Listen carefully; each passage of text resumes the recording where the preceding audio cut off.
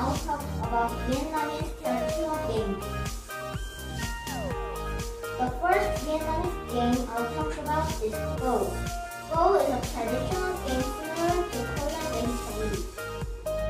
But the difference between Day Chinese is you have to pick a large number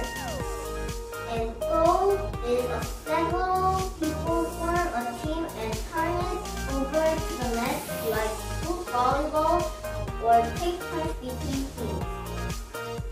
The second Vietnamese game is Phong Quay.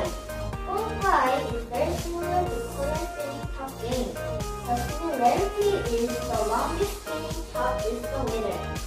Also, by sending a spinning top away or attacking the opponent's top is becomes the winner. Third, non-stop is similar to Korean rubber band game.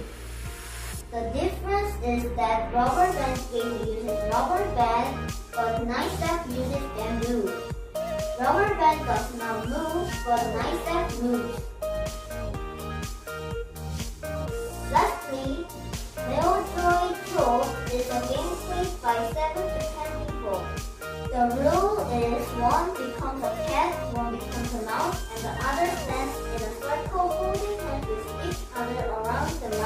the cat.